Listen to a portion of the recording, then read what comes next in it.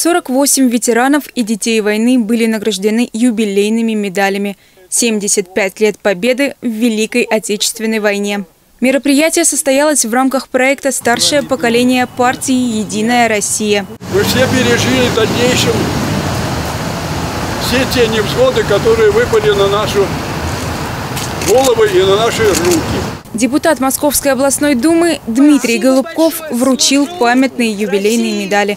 По словам парламентария, День Победы – один из самых почитаемых в нашей стране праздников. Из-за пандемии медали до своих героев дошли только сейчас. Характер старшего поколения наших ветеранов – это вот э, пример силы самопожертвования для, э, для всех наших граждан.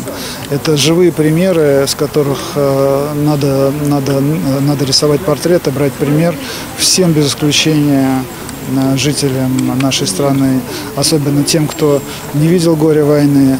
Когда началась война, Зинаиде Матвеевне было всего пять лет. Голод, страх, маленькая девочка помнит все тяготы этого времени. А еще помнит День Победы. Тогда ликовала вся страна.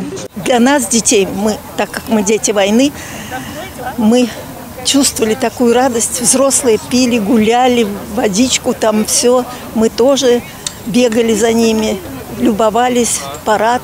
Зинаида Матвеевна ведет активный образ жизни, каждый день занимается спортом. Юбилейная медаль для нее – большая радость. Мы сейчас в строю работаем, работаем, не сдаемся, стараемся здоровый образ жизни вести. Так что сейчас все прекрасно.